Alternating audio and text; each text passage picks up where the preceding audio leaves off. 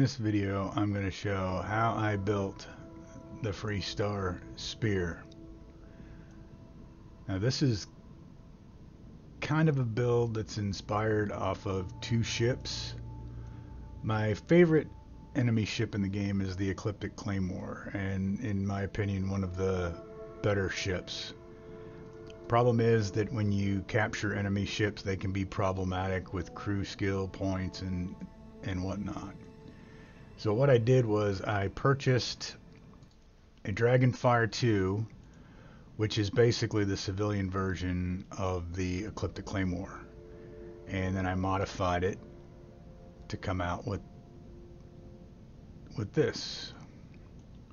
I did put the Freestar colors on it. A C-class ship. 2300 cargo, 1600 shields, 30 light year jump range, mobility is at 93, and a top speed of 150. Okay, I've got it broken apart. Basically, uh, the ground level here, there, there is a little bit of two layers going on here, but it makes sense to put it in this ground floor, middle floor, and then the top trim pieces. There's only two floors on this with the Cabot Bridge. So let's start where we always start on the main ground floor. So underneath, we've got the Deimos landing bay and the Nova landing gear there. More Nova landing gear in the back.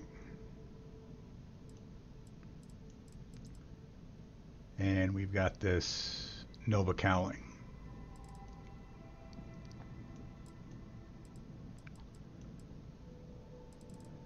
Over the top of all that, we've got an all-in-one berth, a workshop, and a science lab. Now the Docker, forgot to mention that, that is there. Docker's right there, and that's attached to this one by one. Have the two Nova cowlings, the Nova bracer. That's that Nova cowling we showed before. The HE3 tank, which sits between the two landing gear down there. Then on top of those landing gear, we have Nova bracers. Attached to the outside of those, the Nova braking engines. And flipping around to the back, we've got four of the 4330s in their different configurations there. Alright, moving up a level, we've got the other two engines, so that's a total of six engines. And we do have these pieces here, there's two of them, and they are snap glitched in the Nova wing ports to get that look. In front of the engines on this floor, We've got the 30T cargo holds either side. And we've got this HE3 tank.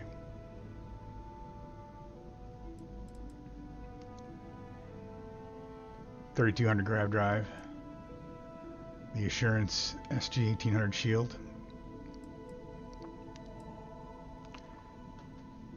Did I mention the grav drive? 3200 grav drive, yeah. And then we got two of the HopeTech Pipes A. Then connected to that, we've got the control station, two Nova cowlings,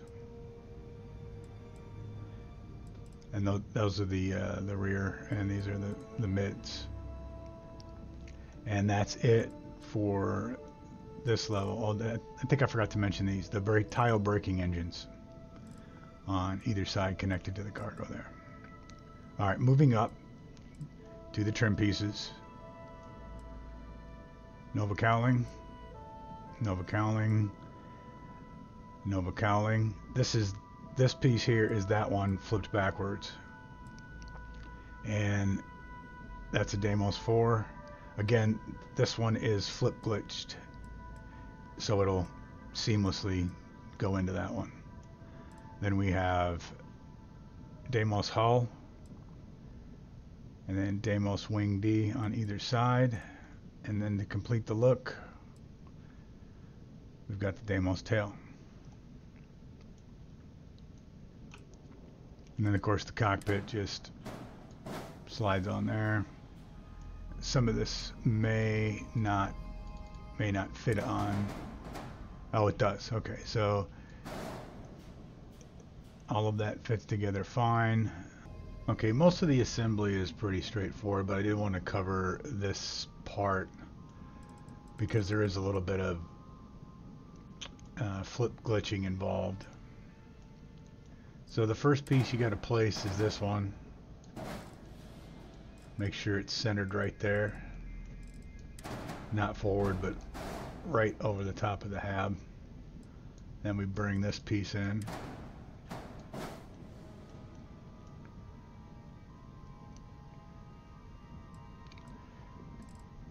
And then this is where it gets a little tricky. You actually have to take the shield off the top of the grav drive. Put that piece there. Put that piece there.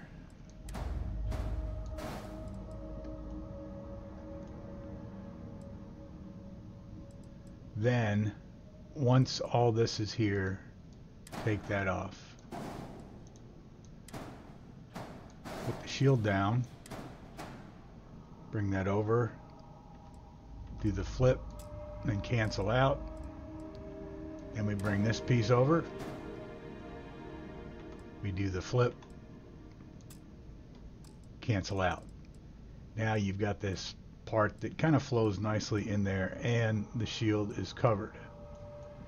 Now these parts here will just go on no problem. The only thing with mine is I have this um, conduction grid here. So it's a little more difficult to get because I can't flip it with that conduction grid on. But you probably won't have that conduction grid. Let me get it off there. That would go go on without an issue. But I did want to I did want to show that because you kind of got to do it in a certain sequence and then go backwards a little bit and then do the the flip glitches in a certain order to get all that to uh, see if I delete this we won't have any uh, we won't have any errors. Everything will be nominal. But I don't want to delete that So that completes the build. Okay, we're going to do the walk around, but before we do that, let me just cover what weapons I've got on here. I've got four of the PB-175 Hellion beams, two on either side. I've got three of the PB-100 neutron beams, and I have the Firebolt 4000. It's a large ship, but you shouldn't run into problems because the loading bay is recessed all the way back underneath there. But this is a this is a large ship. I think it has a, a great look to it, especially if you're a Freestar. All right, let's head inside. It does go up. That makes it so there's only two floors you have to deal with and should be no ladders that you have to climb.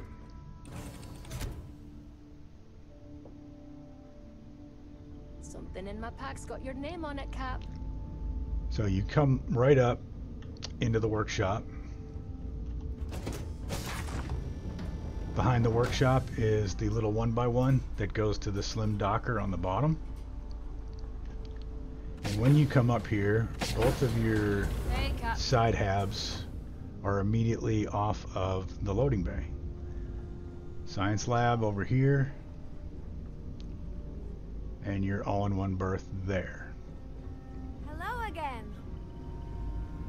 Then walking through the workshop, at the bottom floor of your cockpit. No ladders. And the only thing up here are the crew stations, and that's what gives it the crew number bump.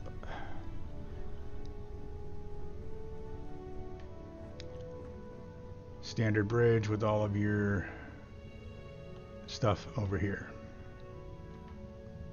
Okay, so that wraps up the build portion of the video. I'm going to jump out and do some some combat and some speed testing. If you're interested in that, stick around. If you're only interested in the build, you're going to stop here. Thanks for watching. I'll catch you on the next one.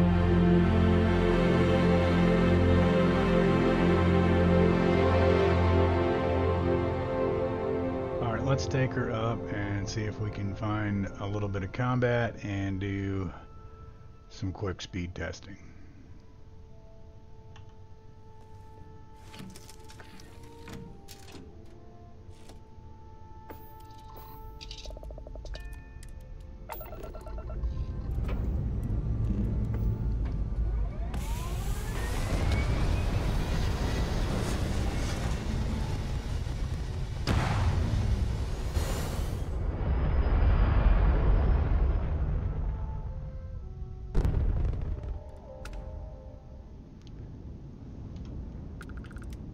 You're not going to be capturing ships, you can do that. And if you need one for the grav drive, I usually take it out of there. But if you're just hopping planet to planet in the system, you can take all pips out of your grav and put it max out your engine shield in both weapon sets. Alright, since we don't have enemies, let's do some speed testing. So with perks, I'm about 180. Top speed for these engines are 150. Let's see if I can remove some pips. So this is what you're going to get if you don't have any skill points. Let's do a boost and see. So 150.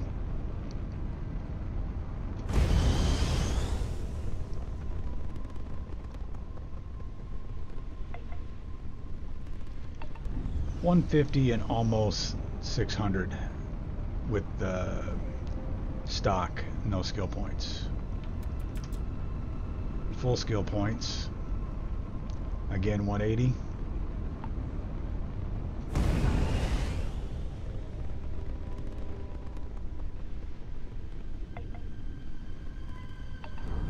And a little over 700. So it's not your fastest ship, but it's plenty, plenty fast. Thruster maneuverability is good.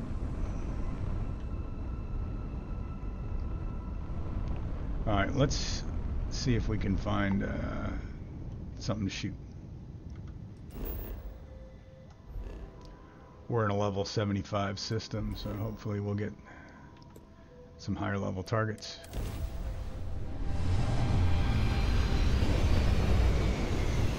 But this is the ship that I'll I'll build on every playthrough. I like it that much.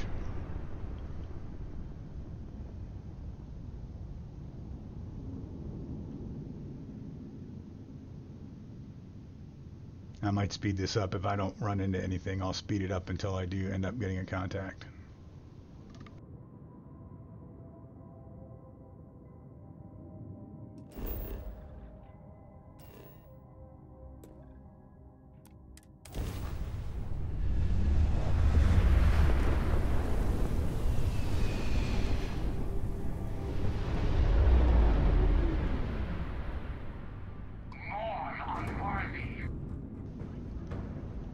Okay, so we've got, I think, at least two, maybe, two starborn here.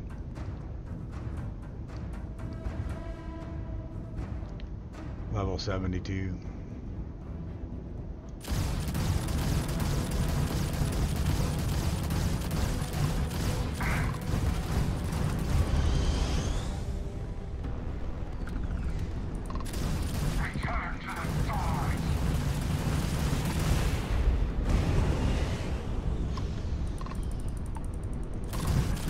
never turned on that one.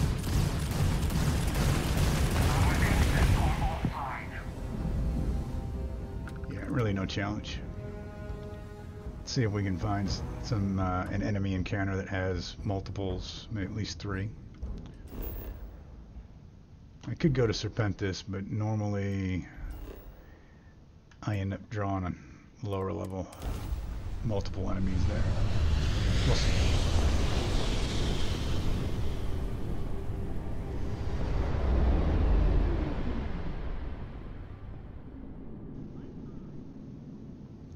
No, we got civilian ships here. Not going to be what we want. We'll try one more, and then we'll go to Serpentis, where we're pretty much probably guaranteed some good stuff.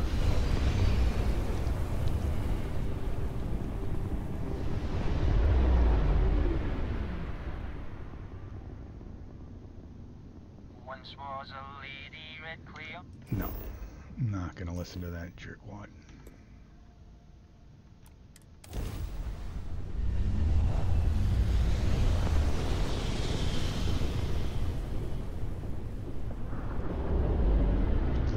Try here.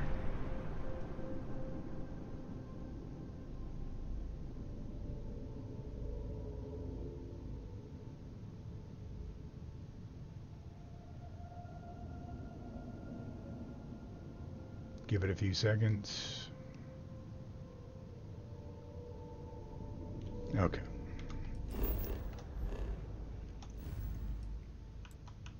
Not in the cards for us. We'll go to a go where we know we're gonna get something good.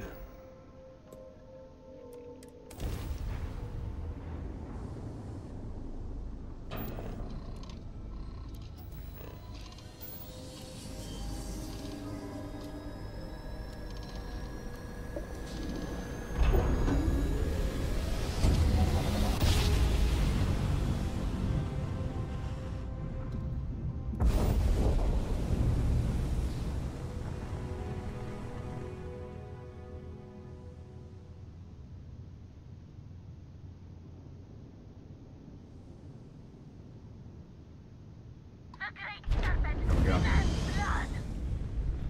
Oh, we You were, shall be we're judged. good. We got multiples. We got multiples.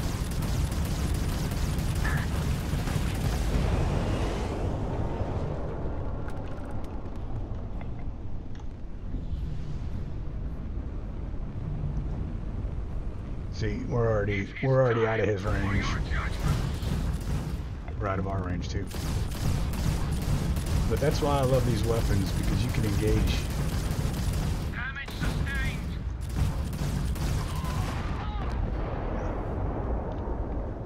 Yeah, really with this ship, unless you hop into Kryx and you're not uh, allied, or you just hop into a UC system and start blasting 20, 30 ships,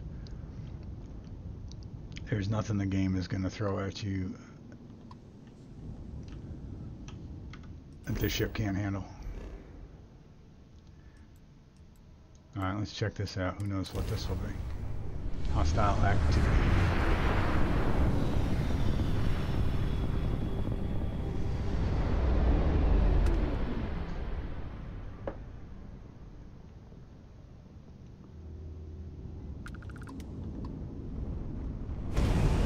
Ruin him three.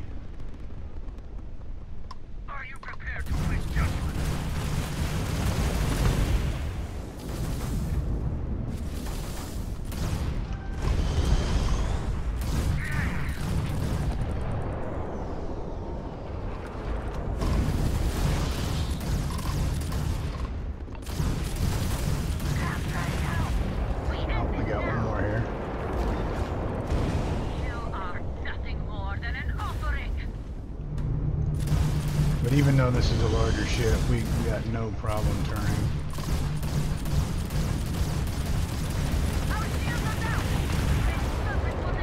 Yeah.